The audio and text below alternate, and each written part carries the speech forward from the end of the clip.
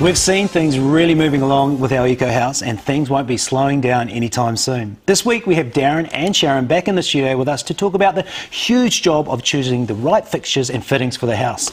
Guys, great to have you back, but first off, I've got to talk about this paver. This has got our green and brown, and I think maybe a couple of white bottles in here, is that right? Yeah, and your uh, homework's in there also, Yeah. along with um, 48 other um, drinkers. All right. So 50 bottles per paver. So I've got to do a lot of drinking over Christmas if I need to make a couple of pavers. done. Yeah. Yeah. And it looks like it's got some sort of coating over the top. Yeah, we've just sealed it to give it a bit of a glossy finish. Okay. And so, how many pavers have we had to make for the, uh, the house? Um, 30 square metres, so about 100. Okay. Well, that's, of a, that's a lot of drinking. A lot of drinking. All right. Thanks to the folks in Oteki. We'll, uh, Hey, now we're, we're talking obviously um, water and all the things that go with that, and the electrical supply and all the things that go with that. Now, because of the house, it's concrete walls. do we have floors. and floors? In terms of the wiring, we must have to put it all in early, do we? um, a lot of the light fittings obviously are in the ceiling, so that's Yeah. a plywood ceiling. Yeah. Um, you have to be really careful with the wiring, yeah, Yeah. definitely. But we have to also put that on the plans, don't we? Yeah. Yeah. Yeah. yeah. So all of our plans And have the. Sharon, I've noticed you've got a box there. What is that? This is our consent. We've got Oh, the we've got consent. it. Yes, Perfect. we've got the building consent. There you go. So And so that's see. all the nuts and bolts. So we This can go. everything. We can literally surge forward now. Yep. Is that right? As of now, we can do pretty much anything to do with the build. Before, we were sort of doing the things we didn't require a building consent for, but now we're great guns, we can move ahead with it. End up being much of a hassle, or was it just plain sailing? Um, we had a few preliminary meetings, so that Yeah. definitely eased the process. Um, we had 16 requests for more information, which I uh, don't enjoy very much, but it's part Yeah. of the process, and we got there in the end. Perfect. All right. So Right. let's talk light fittings. Obviously, you're saying with the plan, you need to have a, an idea of how you're going to light your house first off, and maybe atmosphere in certain areas. So that's Yeah, atmosphere. Where are you're going to put the switches? Mm-hmm. You know, Darren was saying that they're actually going to put them in the um, in the, the side of the the, uh, door door, frames. frames. Oh, So in the door jamb, so we're not running any cables in the concrete and have a mistake Yes. happen, so we can run it down beside the doors, and the switches are on the um, on the actual timber itself. oh wow, that's that's that's different. And colouring.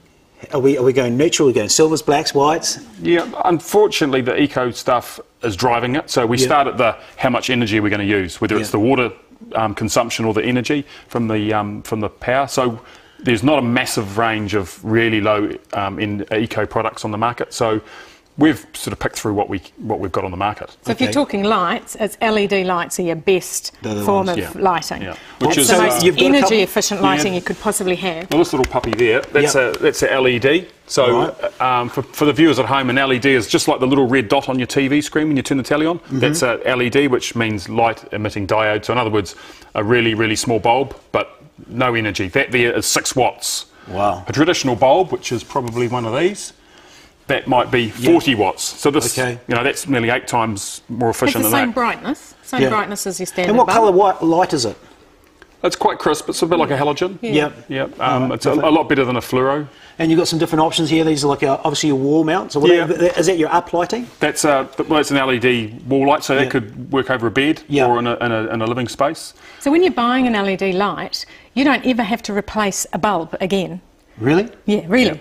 Yeah. That's the bonus about LED lighting. The downside is that's 40 bucks.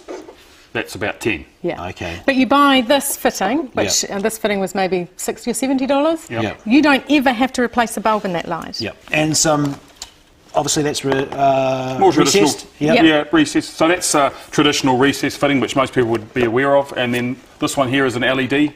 Perfect. An LED. So they look very similar. The Mm-hmm. difference being is that uses 11 watts of power. Hmm. This is used as 80. Perfect. So eight times, 10 times more efficient. And just to finish up, we're talking water. Obviously, we've got to look after water. We've got a tank. So um, we've got some different options here. Obviously, a beautiful uh, Tip. tap for the for the basin. And now this is a Methven. Now their products award winning, isn't it? This like for water s- Definitely, saving. definitely. Um, the Kiwi brands are absolutely brilliant. Top, top of the top of the range, and um, up there with the best in the world. So that one's a, obviously a fixed rose. We've chosen a, um, a slide rail. Obviously, you can adjust it, take it off to your hair, that sort of thing. But really, lo- the shower one is the most important. Really low uh, water usage, about um, about eight litres per per minute.